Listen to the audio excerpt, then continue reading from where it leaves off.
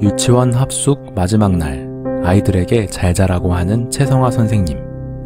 유치원의 불은 꺼지고 아이들은 합숙이 참 재밌었다고 하면서 아쉽다고 합니다.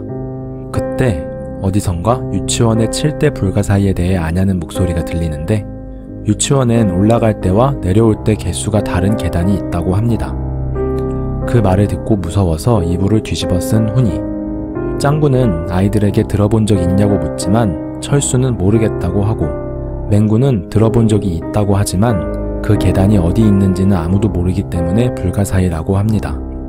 철수가 그건 그저 헛소문일 거라고 하고 아이들은 잠에 드는데요.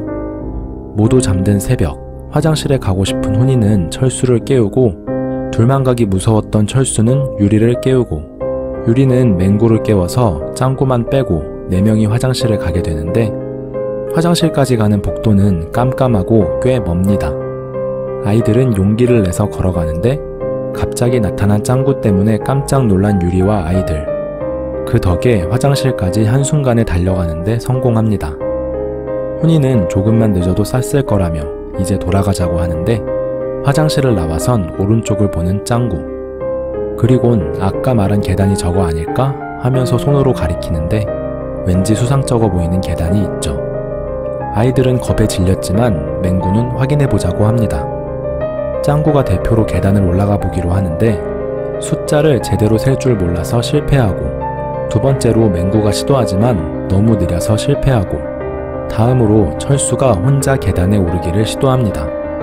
차분히 숫자를 세면서 오른 철수는 39을 외치며 2층에 도착하는데 2층엔 아무것도 없고 벽엔 붉은 꽃만이 대나무통 장식에 달려 있습니다.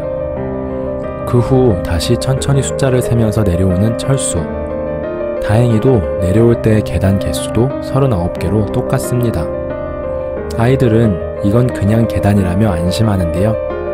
다음날 아침, 선생님은 아이들에게 이불 개고 교실에서 기다리라고 하고 아이들은 캄캄하지 않으니까 계단에 한 번 더 올라가 보자고 하는데 화장실 옆엔 계단은 없고 벽엔 어제 철수가 본 붉은 꽃만 있죠. 짱구는 채성화 선생님에게 여기 있던 계단 어디 있느냐고 묻지만 선생님은 우리 유치원은 1층 뿐이라 계단은 없다고 대답합니다. 아이들은 처음부터 귀신에게 홀렸던 걸까요? 또 대나무통에 장식된 붉은 꽃은 무엇이었을까요? 시청해주셔서 감사합니다. 동키무비였습니다.